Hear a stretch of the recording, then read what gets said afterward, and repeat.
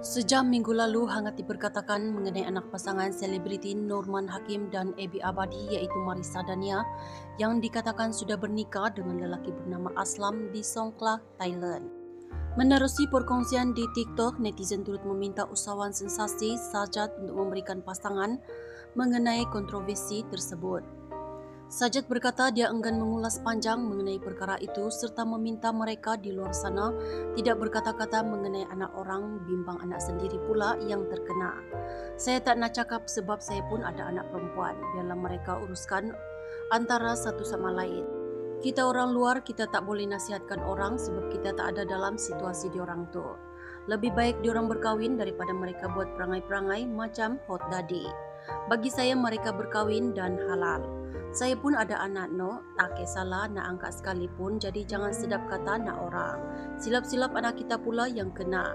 Jangan sedap berkata-kata katanya. Dalam pada itu saja turut menitipkan nasihat agar tidak terlalu cepat menilai atau menghukum orang lain kerana segalanya sudah tertulis. Thank